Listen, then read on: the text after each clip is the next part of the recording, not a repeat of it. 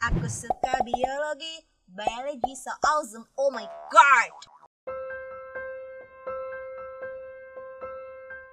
Oke, sekarang kita akan bahas satu soal UTBK tahun 2018. Soalnya berikut, kekurangan unsur kimia berikut ini yang dapat menyebabkan tanaman mengalami klorosis yang ditandai dengan menguningnya daun, yaitu A. Magnesium, B. Kalsium, C. Natrium, D. Mangan, E. Kalium. Nah, yang harus kita garis bawahi di sini adalah tanaman sama klorosisnya. Kalau tanaman itu sama kayak kita, dia itu makhluk hidup.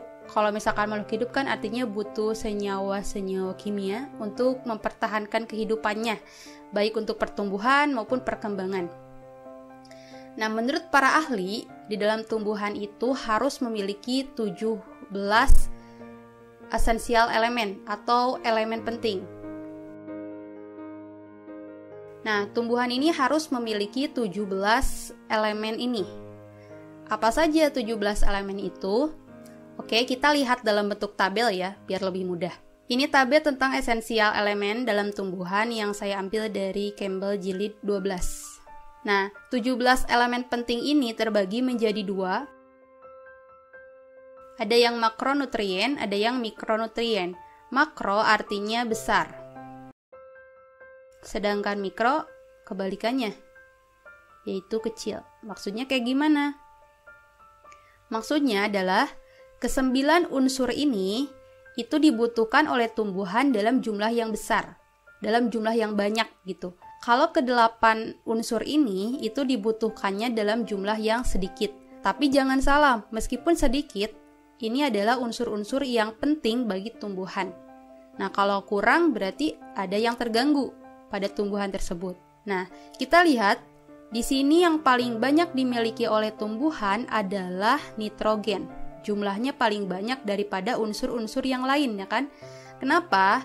Karena fungsi dari nitrogen bagi tumbuhan adalah sebagai komponen dari asam nukleat, protein, dan klorofil. Klorofil sendiri itu merupakan senyawa kimia yang penting bagi tumbuhan karena digunakan untuk proses fotosintesis.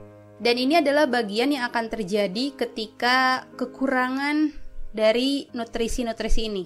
Nah, kita lihat klorosis. Kalau dilihat dari tabel ini, klorosis ini adanya ketika kekurangan nitrogen, terus ketika kekurangan magnesium, ketika kekurangan besi, dan ketika dia kekurangan mangan. Berarti jawabannya yang A sama D. Loh, kok dua ya? Padahal ini soal UTBK yang kemungkinan jawabannya pasti satu.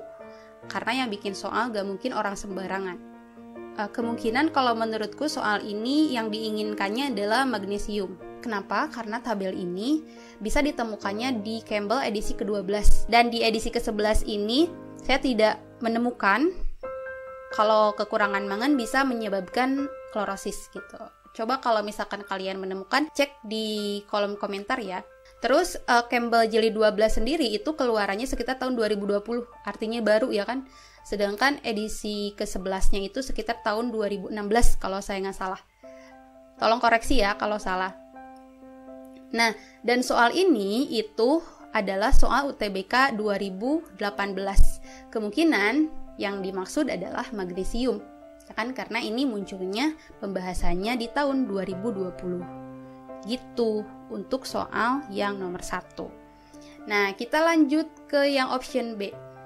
Gimana kalau kekurangan kalsium? Di tabel ini bisa dilihat kalau kekurangan kalsium dia akan crinkling of young lips. Berarti dia akan menggulung atau mengkerut di bagian daun yang muda-muda. Dan akan mengalami kematian pada tunas terminal atau tunas yang ada di ujung batang. Itu ya kalau untuk kalsium. Kalau untuk natrium nggak ada ya kalau dilihat dari tabel ini dia bukan merupakan 17 elemen penting. Begitupun dengan kalium. Itu tidak ada di sini. Jadi 17 elemen penting itu terbagi menjadi dua, ada makronutrien, ada mikronutrien. Kalau yang makronutrien ada karbon, oksigen, hidrogen, nitrogen, potasium, kalsium, magnesium, fosfor, sama sulfur. Sedangkan mikronutrients itu ada klorin, besi, mangan, boron, zinc, tembaga, nikel, sama molybdenum. Oke, itu aja untuk pembahasan satu soal terkait dengan UTBK tahun 2018. Terima kasih.